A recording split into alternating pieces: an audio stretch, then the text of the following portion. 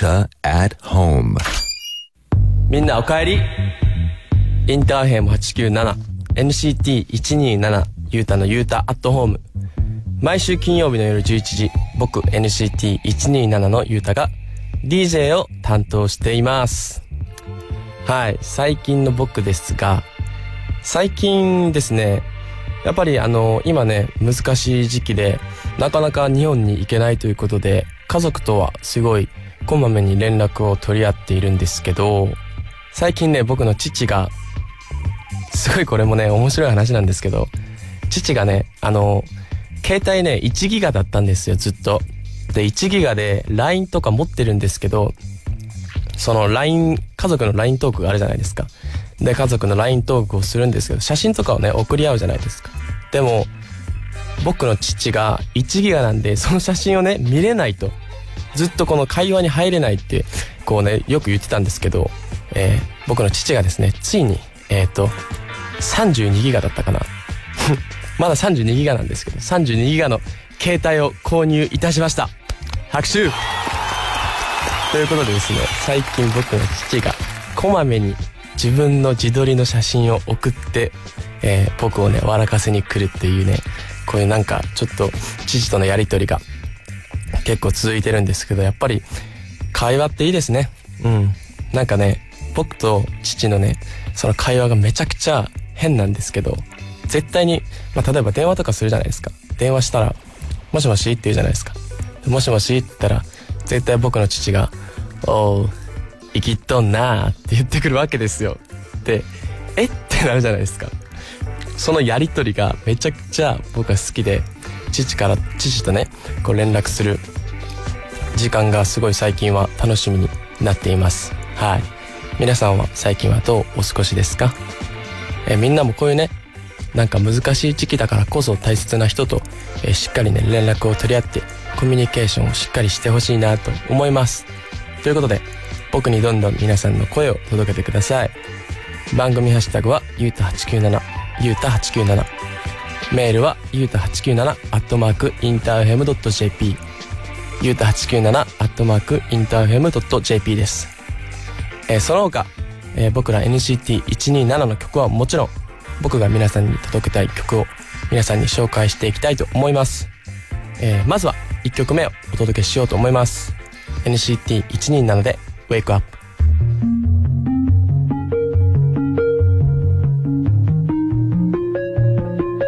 멈춰봐 wait a minute 답이 없는 미러 같아 거칠게 조각나버린 이 기억 속 끝없는 밤또 다른 네 안에 너게 원해봐 이긴 아닌 더 넓은 너를 찾아 네 무의식 속에 그 길을 따라가 So let's just wake up this world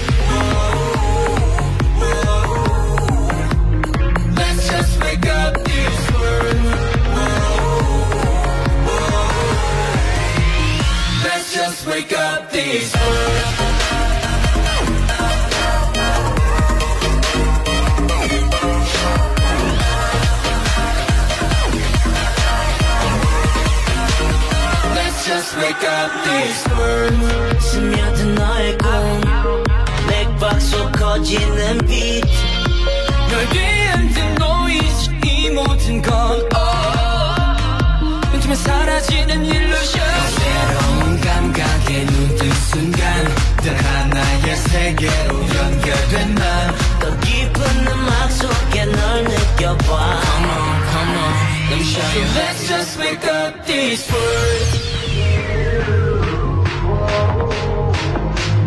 Let's just wake up this world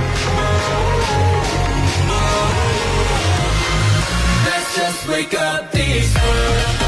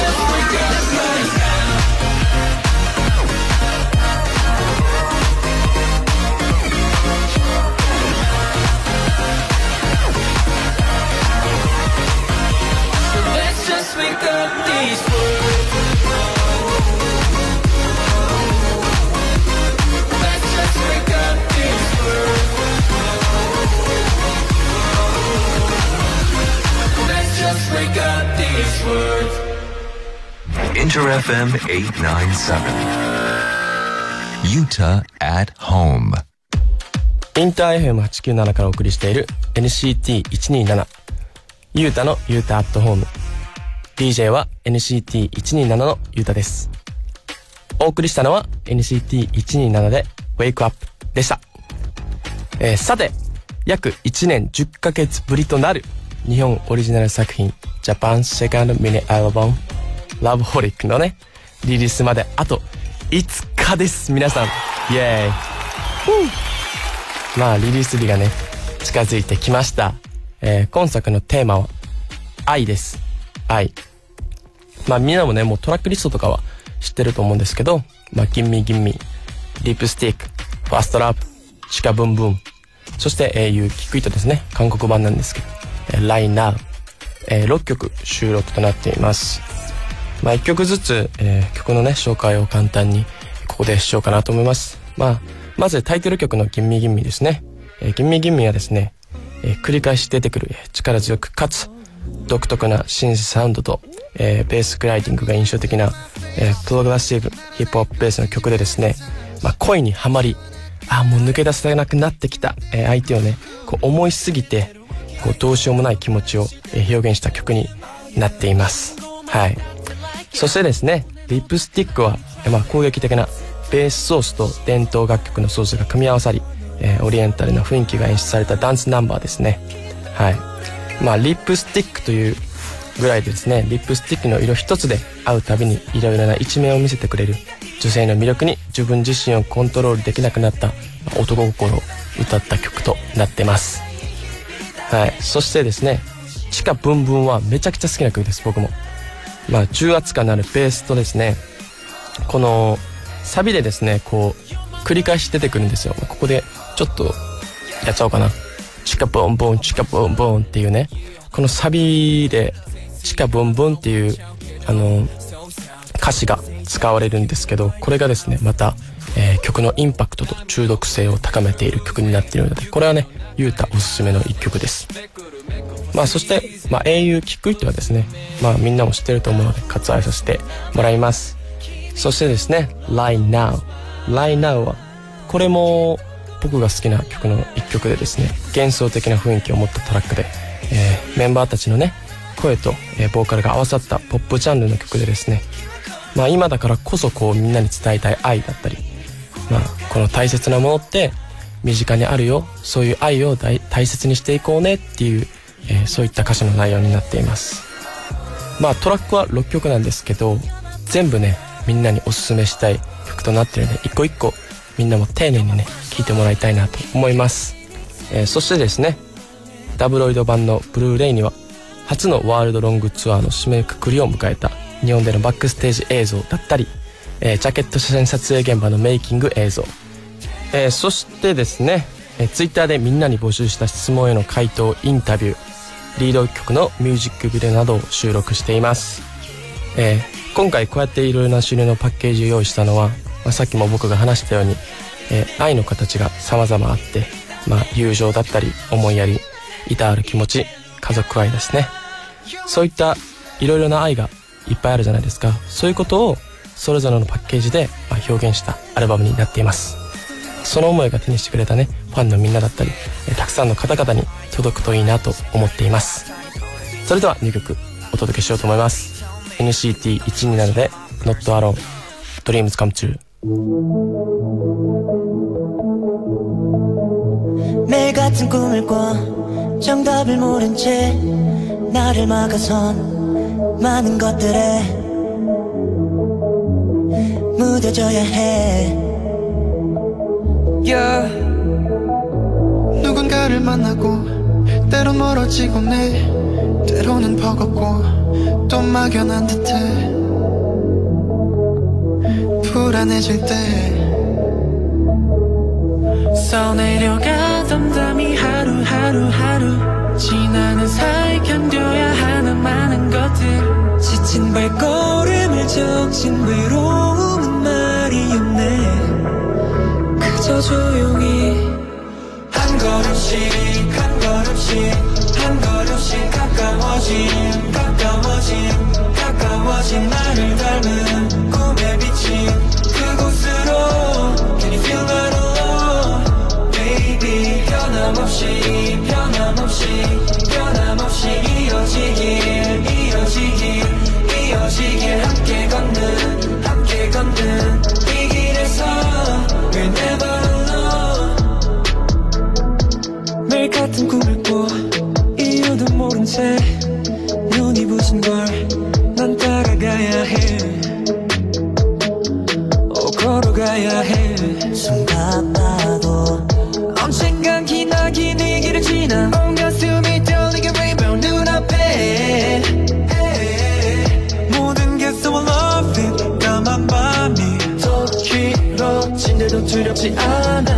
끌어안아 같아. 간절한 모든 모든 모든 꿈들이 다 이루어진 시간 속에 문득 마주친 너의 그 눈빛에 날 담아 떠오르던 지난 시간이 한 걸음씩 한 걸음씩 한 걸음씩 가까워진 가까워진 가까워진 나를 닮은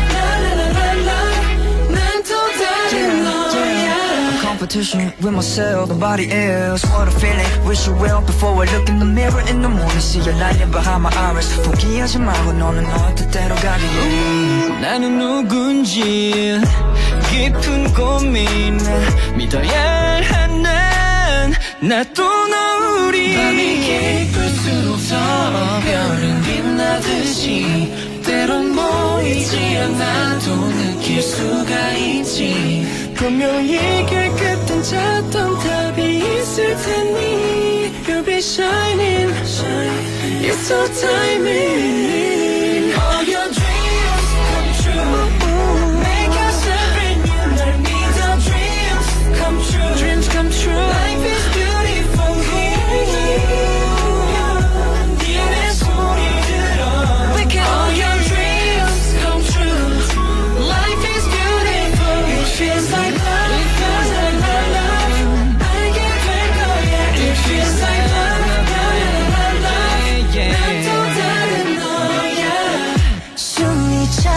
때면 잠깐 앉아서 쉬어도 돼 쉬어도 돼. 급할 건 없어 지금처럼 계속 포기하지 않으면 Finally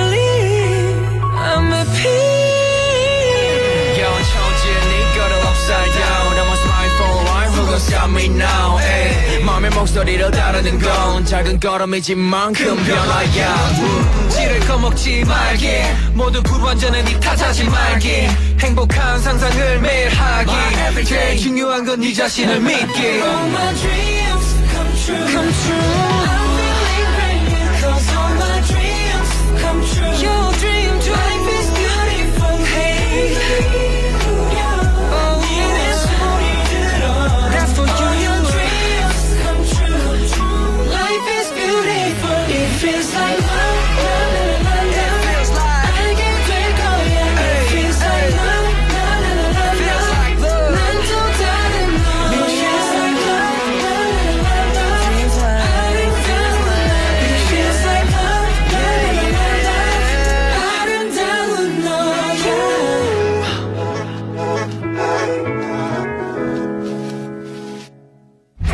FM 897.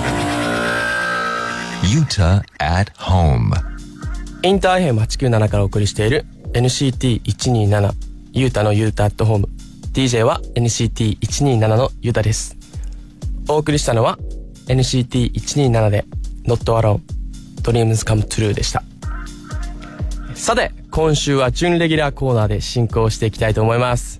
まずは久々のこのコーナーから23時のユータはい。ということでとある日の23時にですね僕ユータが何をしていたかを皆さんに発表するコーナーであります。まあこのねこのコーナーで僕がそのね23時に何をしていたかということが赤裸々に分かってしまうコーナーとなっております。えー今週発表するのはそうだな。どうしようかな。えー、っとじゃあ1月何日だったかなあれは。あの最近さ俺がバブルとかでよくそのカバーとかをね1分ぐらいで上げてるんですけどあれがいつだったかな？1月の1月の20日とかかな？うん。20日とかにまあ20日とかまあ結構そのぐらいの時にまあバブルでカバー曲とかをまあ短いね時間こう1分ではあるんですけどやってるんですけどそのあれですね練習だったりえーっとレコーディングの練習だったりっていうのをそうレコーディングブースでやってましたね。なんで最近これをやってるかっていうとやっぱりそのまあアルバムの準備もそうなんですけどコロナということでやっぱりねこうインターネットでこうある程度ね会話だったりその意思疎通っていうのはできるんですけどやっぱりなんか物足りないなと思っちゃって自分で。で何ができるだろうって考えた時に、まあ、めっちゃ歌うの好きだから俺。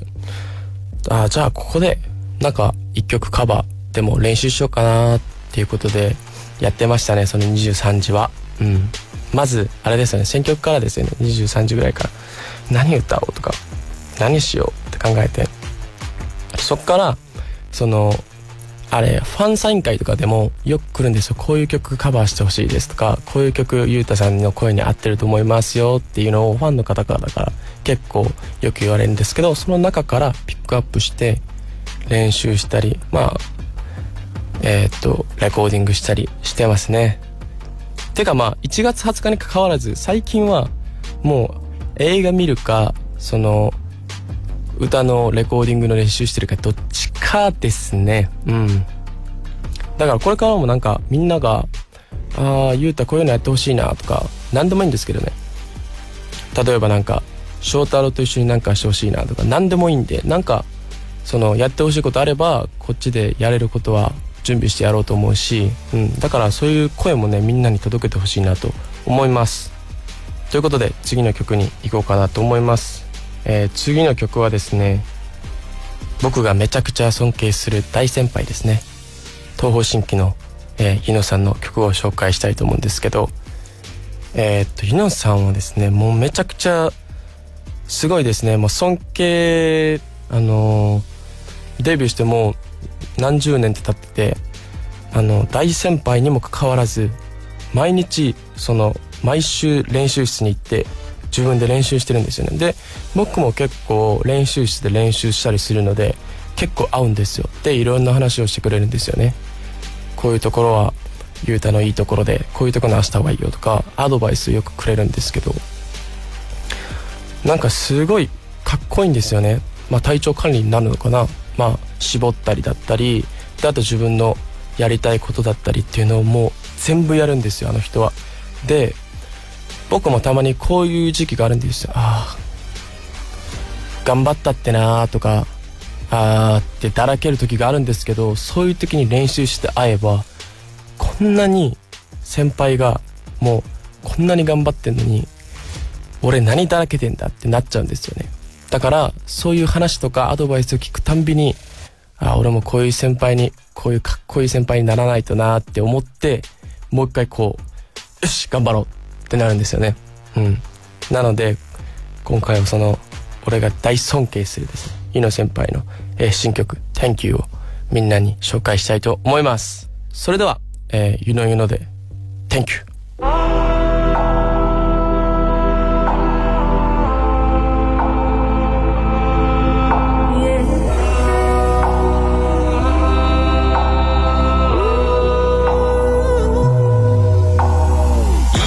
번째 레슨 좋은 건 너만 알기.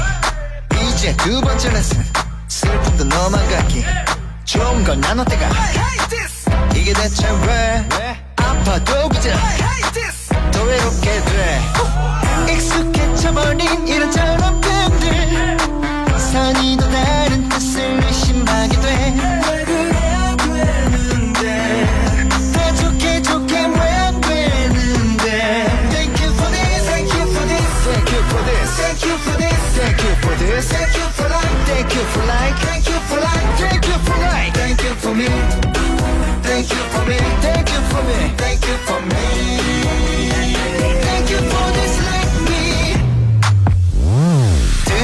세 번째 레슨. 일희 일비않기. 좀 더 강해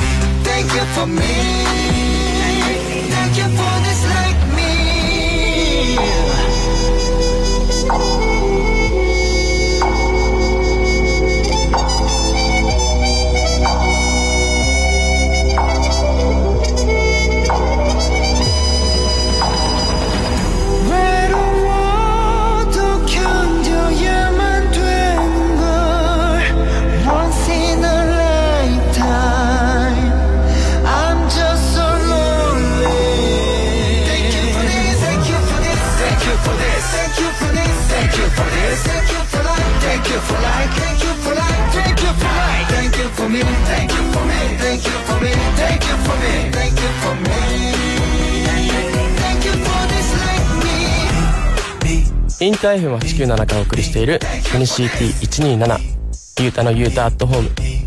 DJ は NCT127 のゆうたです。お送りしたのはゆのゆので Thank you でした。いい曲ですね。うん。ということで続いても準レギュラーコーナー。今週のなんでやねん。はい。えーとですね。僕の身の回りに起こったついねなんでやねんって。込んでしまいたくなることをみんなに発表していこうかなと思います。まあ、前回はツイッターでもゆうたくんなんでやねん多すぎと、えー、ゆうたみからたくさんのツッコミをいただきましたが。まだまだありますよ。やっぱり関西人なんでね。心の中でなんでやねんはえーっと1日に156回ぐらい言いますね。ということで今週のなんでやねんをねみんなに紹介していこうかなと思います。どうしようかな。うん。これはみんなもよくあるあると思うんですけど歯磨いたのになんでやねん。っていうのがありますね。あのよくあるかなこれね。俺ね歯磨くの結構好きなのよ。で歯磨くよく歯磨くんですけど歯磨いた直後にもうどこでもそうなんですけどスケジュール行ってる時もそうだしもう夜寝ようかなと思って歯磨いてた歯磨いてじゃあ寝るぞ!ってなって寝ようと思った瞬間に誰か一人が絶対に美味しいもの頼んでる。そう。で頼んでて一緒に食べようって言ってくるわけ。でその誘惑に勝てずに食べちゃうんですよね やっぱり。で食べてはあ食べちゃったってなってその二重ですよ。だから食べちゃったっていう罪悪感と夜中にね。あとあまた歯磨かないとっていう罪悪感があって。なんでこれなんかこれタイミングですよね。なんかいつもあるんですよね僕。なんか歯磨いてよっしゃすっきりしたってなった時にこれ食べる？とか聞いてくるの。特にジョンとかね。そう。めちゃくちゃ感謝なんですけど。はい。じゃあ次行きます。うん。これはなんでやねんというか。よくあるんですけどこれも。多分僕の性格上なんでしょうね。マスクどこ行ってん？っていうのがよくありますね。まあこれもなんでやねんになるんですけど。マスクってさ最近どこ行くにも使うじゃない。で使ってなんかこうマスク使って俺はねカバンの中に入れたと思ってるわけ。カバンの中に入れてちゃんとしまったポケットの中に入れた。で俺確認するわけよ。じゃあ言うた。お前はマスクを今ポケットに入れました。入れました。覚えとけよっていうのを自己暗示するわけ。入れた時に。で入れました。でスケジュール終わったりなんかする時にあれ？ってなるわけよいつも。あれ？ポケットに入れたよな？とか。カバンの中入れたよな？ってなってやっぱこう探すわけよ。で探して探したらなんかねこのジャケットの内ポケットとかにあるわけよ。もうこれなんでやねんしかないねん俺俺ポケット入れたよなみたいな。やけど内ポケット入ってる。誰が入れたん？いやお前やみたいな。ね。そういう自分で突っ込むっていうことがよくありますね。うん。お前しかおらんわい。ということで3番ですね。まあこれ前にも言ったんですけどトウモロコシ茶誰やねん一体。トウモロコシ茶。はい。今回えっ、とね昨日かな一昨日に久しぶりにね冷蔵庫行ってトウモロコシ茶飲もうと思ってバッて開けたら2本。2本がもう開いてんの。トウモロコシ茶開いてて。でめちゃくちゃ一口か二口ぐらい飲んでまた返してるやつがいるわけよ。でこれねもう誰ってなっちゃったね。もう開けた瞬間うーわもう誰？みたいな。うん。これはトウモロコシ茶誰やねん事件でした。はい。じゃあ4番ね。次いきます。あとねこれねこれも多分俺あるあるだと思うんですけど白い服をね？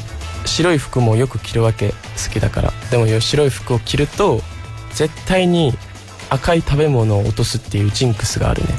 うん。白い服ジンクス。なんでやねんっていう話なんですけど。これはですね俺は韓国の料理ってさ赤い食べ物とか結構さ色がいっぱいついてるやつあるからこう気をつけて食べるわけよね。で気をつけて食べるんですけど白い服を着てる時は絶対にこぼしちゃうっていうこのね呪いにかかってるわけですよ僕は。うん。でこの前もつい最近ね白い服着てるぞ言うたと。あの心の中でも言ってるわけみんなと食べてるけど心の中では白い服着てるぞ言うた。気をつけろよ。ゆっくり食べなよゆっくり食べろよって言って心の中で自分でやってるんですよ。でやってこうバーってやってオッケー食べれたと思って。よっしゃ今日は何事もなかったなと思ってバッて立ったら横に横に赤いのついてると思って。あれ俺めっちゃ気をつけて食べたよなみたいな。横のやつかと思って。横のやつじゃないみたいな。で結局誰やねんってなったらいやお前やっていう。これもねお前やっていう話なんですけど。じゃあラストね。ラストいこうかな。これは昨日ねなんでやねんと思った話ですね。この昨日思ったのはもうこれさ俺もそうやねんけどみんなもこれ気をつけなあかんよっていう話。まあ共同生活とか家族とかと住んでる人はね特にそうなんですけどあのお風呂入るじゃないですか。でお風呂入ってシャンプーリンスあるじゃないですか。で俺お風呂めちゃくちゃ長いこと入るわけ。えっ、ともう1時間ぐらい入ってる時もあるのよ。あってでこう気分いいからあのいつもスマホで音楽流しながら歌いながらこうちょっと乗ってねこうふーんみたいな。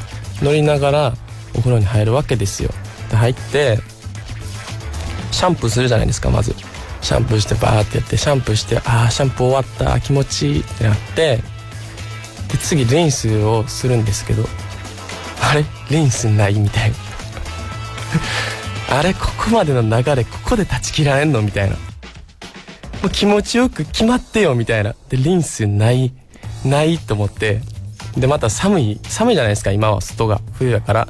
それをまた寒いけど取りに行かないとあかんからもうそこでもうねテンションガタ落ちですよ。そう。もうここまで上げてきてたのに。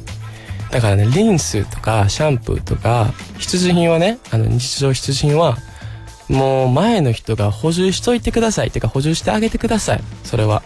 俺もそこは気をつけるからさみんなもそこは気をつけよう。うん。だって俺みたいになんでやねんって思う人もおるかもしらんからさ。そう。だこれは昨日思ったね切実に。もう前の人入れといてよって。ということでですね。以上5つが僕が最近なんでやねんと思ったなんでやねんでした。それではここで僕ら NCTU のナンバーをお届けしようと思います。NCTU で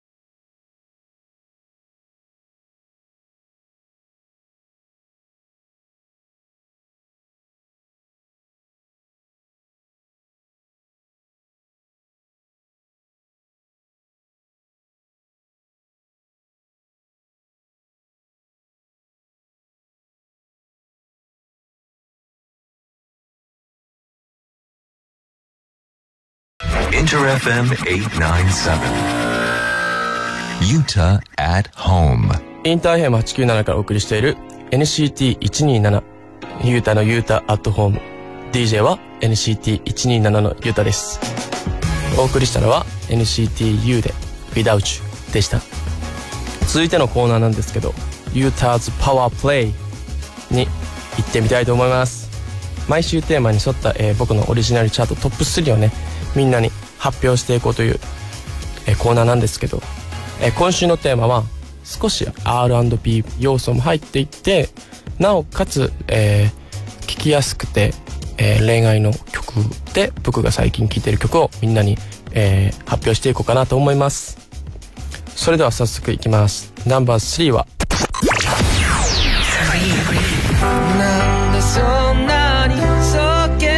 ラッドウィンプスさんの「そっけない」ですね。この曲は多分みんな知ってて結構有名な曲なのでうん最近はよく聴きますねこの曲。えっ、とミュージックビデオもねすごいいい味が出ててミュージックビデオと一緒に聴くともっとこの歌詞の内容だったり何を伝えたいかっていうのがより一層わかる曲になってるんじゃないかなと思います、えーナンバー2はね。アラジンのように川崎隆也さん魔法の絨毯。この曲はもう最近めちゃくちゃ推してます。あの歌詞のサビとかでも「アラジンのように魔法の絨毯に乗って」っていうそのそうアラジンみたいにできないけど君のことを愛してるよとかなんか最近流行りのちょっとポップなキャラクターを出しつつ恋愛の曲を歌ってるのでわあ面白いなって思いましたね、うん、そしてナンバーワンは。えー C&K さんみかんハートですね、えーみかんハートは結構ねもう何年か経ってる曲なんですけどえっとバラードで言えばすごい好きな曲調ですね。あとツインボーカルなんですけどボーカルのすっごい高い声が出る。その高音とその低音がすっごいいい感じに分かれてて、えー曲のメリハリだったり強弱っていうのもしっかりついてるし聴いてて楽しいな。あとめちゃくちゃ歌うまいし、うん、僕が好きなそのバラードの曲調っていうかテンポだったんでこの曲を、えーナンバーワンでみんなに紹介しました。ということでこの3曲の中から2曲をお届けしようと思います。じゃあ川崎隆也で魔法の絨毯。そして C&K でみかんハート。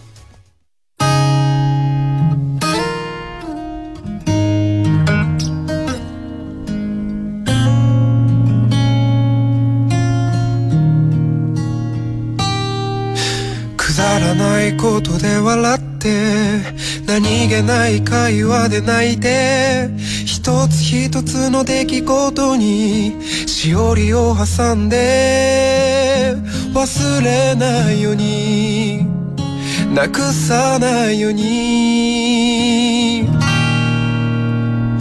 アラジンのように魔法の絨毯に乗って迎えに行くよ。魔法は使えないけどお金もないし力もないし地位も名誉もないけど君のことを話したくないんだ。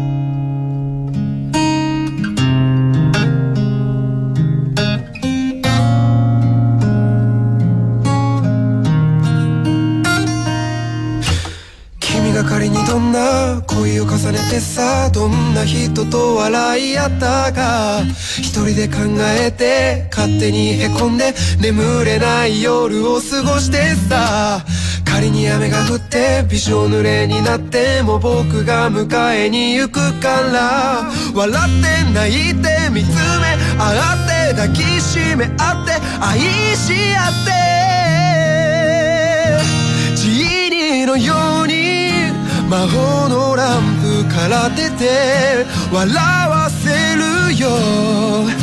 魔法は使えないけどお金もないし力もないし地位も名誉もないけど君のことを守りたいんだ。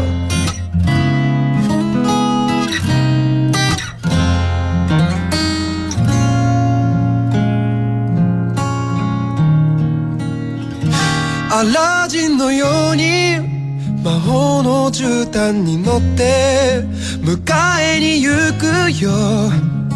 魔法は使えないけどお金もないし力もないし地位も名誉もないけど君のことのならジギリのように。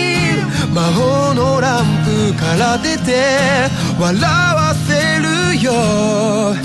魔法は使えないけど。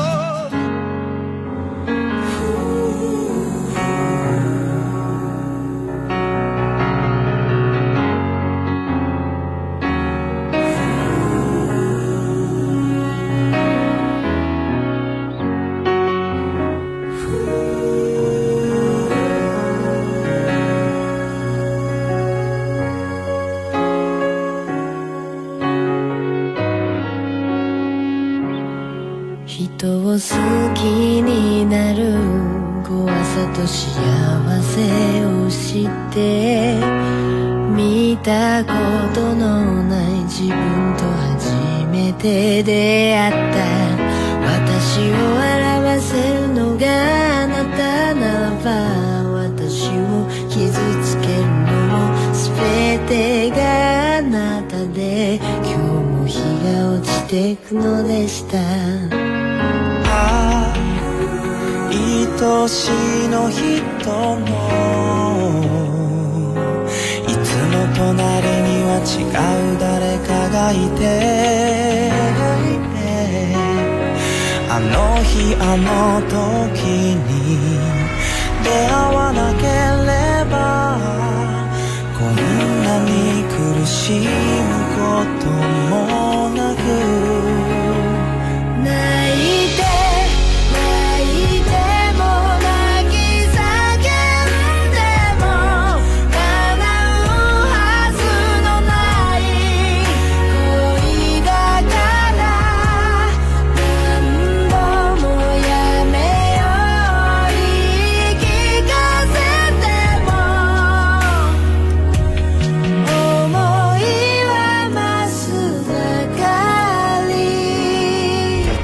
FM 897.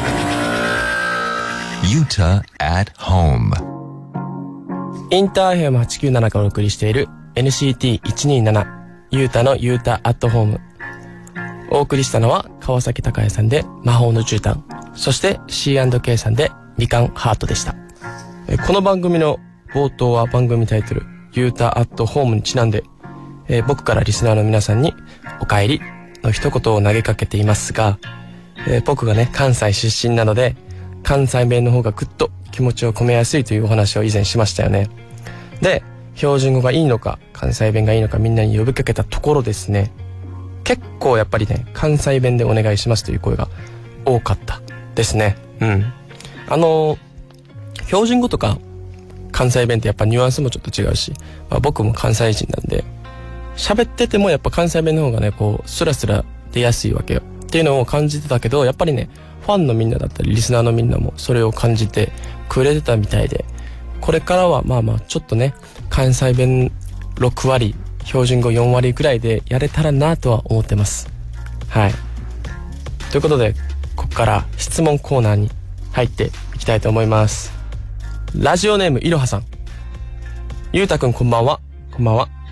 先日のラジオでホラー映画を見ないと言っていましたが、おすすめの恋愛映画はありますか？キュンキュンしたい気分なので、ぜひ教えてください。これからもずっと応援しています。ということですね。キュンキュンしたい気分か。えーっと、俺が見た中で一番良かったなと思うのはノートブックですね。ノートブックっていう、えーっと、洋画があるんですけど、その洋画多分ね、めちゃくちゃ有名だから、えー知っててると思うんですけど、ノートブックは僕が見た恋愛映画の中では一番キュンとしましたね。うん。やっぱさ、最近のさ、恋愛映画だったり、その男女の関係を、こう、テーマに作った作品って、なんとなくちょっと混ぜてるというか、まあまあ、例えばキスも出てくるし、まあいろんなことが出てくるわけじゃん。で、そういうのって、まあもちろんね、めちゃくちゃいい作品もめっちゃあるんだけど、やっぱりね、このキュンキュンしたいとか、純粋にその恋愛を楽しみたいと思った時は、なんていうんかな。ちょっと純粋な、その、キスするのも手つなぐのもどうするかわかんないみたいな、そういう映画が僕は好きで。なので、ノートブック、まあノートブックめっちゃキスするのめっちゃあるんだけど、まあそれでもノートブックですね。うん。ノートブックぜひ見てください。ということで、えー、次行きます。ラジオネーム、ベーヤンさん。ゆうたくん、こんばんは。お帰りと言ってもらえるこのラジオを毎週とても楽しみにしています。関西弁バージョンも良かったです。ありがとう。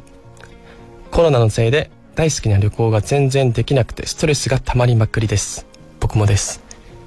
2020年は私が NCT127 で一番好きな曲 Fly Away With Me のミュージックビデオのサンタモニカに行くんだって心に決めたのに行くことができず2021年も行けるのかなという感じです。そこでゆうたくんに質問です。今後自由に海外に行けるようになって仕事とか関係なく海外旅行に行くとしたらどこの国に行きたいですか？お仕事でいろいろなところに行ったと思うんですけど、えー思い出深い街があれば教えてほしいです。ということでですね、ペイヤンさんからいただきました質問を。えーっと、僕が行った中では一番好きだったのはサンタモニカですね。あの冬より夏が好きなので、サンタモニカのビーチで、そのサンダルとかサングラスとかメンバーみんなと買って、ビーチで遊んだりした記憶はまだ鮮明に覚えてますね。あとやっぱり天気がいい、えー国が大好きなので、そう、ちょっとね、俺はあの雨とか曇りだったらテンションがすごいガタ落ちするタイプなのよ。だから、そのやっぱ明るいところですね。LA だったり、えーサンタモニカだったり、うん、やっぱちょっとそう開放的で明るい、そして海がある場所が一番思い出深いですね。そしてですね、コロナが終わったら僕が行きたい国はですね、まあ、スペインは一度行ったことあるんですけど、ヨーロッパに、えーもっとたくさんの国に行ってみたいなと思います。えーラジオネームゆうかさん。ゆうたくんこんばんは。毎週ゆうたくんのお家にお邪魔できることが楽しみで、一週間頑張れています。いや、逆に、あの、僕、結構暇だからさ、お家で。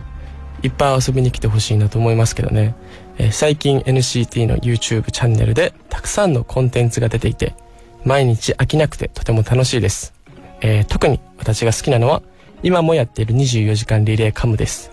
初めてのイリチルの24時間リレーカムを見たとき、メンバーの休日の過ごし方を見ることができるなんて、とても貴重で新鮮な感じがしました。そこで、ゆうたくんに質問です。今までやってきた YouTube のコンテンツの中で、ゆうたくんのお気に入りはありますか？また今後、YouTube でやってみたいことはありますか？ゆうたくんがいつも笑顔でいられることを願って、これからも応援しています。体調に気をつけて頑張ってください。大好きです。といただきました。ありがとうございます。えー YouTube コンテンツか。すごいたくさんやってきたからね。うーん。YouTube コンテンツで一番気に入ってるものは、なんだろうな多分もう、えー、邪視師かな？邪視師にこの前出させてもらって、出してもらって、このネイルをね、一緒に作ったんですけど、それで思ったのはやっぱり、俺はなんか、こう、デザインとか、自分のことはちょっと自分でやりたいタイプなんで、なんていうんですか、こういうネイルだったり、なんかアート系のやつで一回コンテンツ撮ってみたいですね。例えば、このでっかい部屋に、なんかもう、バンバンって筆をね、こう、やるじゃないですか、書道の人だったり、その、文字を書いたり、そのアートがあるじゃないですか。そういうのも一回やってみたいですね。うん、ゆうたみって書いてみたいです。一回。その、そういうコンテンツで。かっこよくね。うん。まあ、そういう、なんかを書くとか、なんかを作るっていうコンテンツを一回やってみたいです。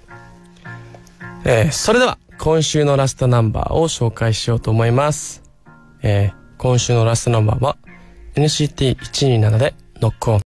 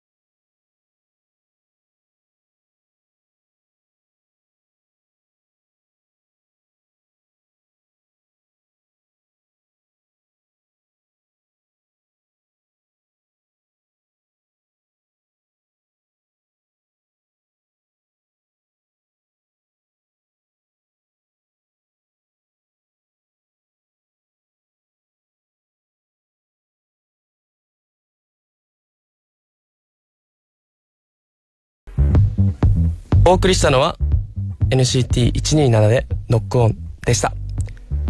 今週の NCT127 ゆうたのゆうたアットホームいかがだったでしょうか？僕はすごい楽しいです。なんかねこれ回を重ねるごとにやっぱ慣れてくるから喋りやすくもなってきたしこうみんなからのメッセージが読むのもすごく、えー楽しい時間になってきてます。みんなにとってもねこの時間がすごい楽しい時間になってくれたらなと思いますしこれからもね、えーいい緊張感を持ちながらやっていこうかなと思います。番組ハッシュタグはゆうた897ゆうた897メールはゆうた897アットマークインターフェム .jp ゆうた897アットマークインターフェム .jp です。そしてですね約1年10ヶ月ぶりとなる日本オリジナル作品ジャパンセカンドミニアルバムラブホリックのリリースまで。あと5日です皆さん。もう待ちに待ちました僕は。早く来てくれないかなってもうねあのーサンタさんを待つみたいにね早く来てくれないかなって思ってました。えーそのラブホリックのリリースまであと5日なんですけど皆さんに届けられるのをすごい楽しみにしています。そしてですね来週月曜日には一足早くメンバー全員でカウントダウン TV ライブライブでパフォーマンスをね披露するので皆さん絶対に見てください。もうね僕は今年で日本デビューして3年目になるんですけどもうあの待ち望んでました。日本のテレビ番組にいつか出たいっていう気持ちをずっと持ってたのでこの今回の「ギンミギンミラブホリック」でですねこの日本の音楽番組についに出るのかということですごい楽しみにしています。なので皆さんぜひ見逃さずに、え見てくれたらなと思います、えー、Twitter での応援感想もお待ちしています。僕チェックしますからね。すっごいチェックするからね。それでは来週もインター FM897 でお会いしましょう。金曜日夜11時になったら僕の部屋へまた遊びに来てください。DJ は NCT127 のゆたでした。それではいってらっしゃい。バイバイ。みんな絶対見てね。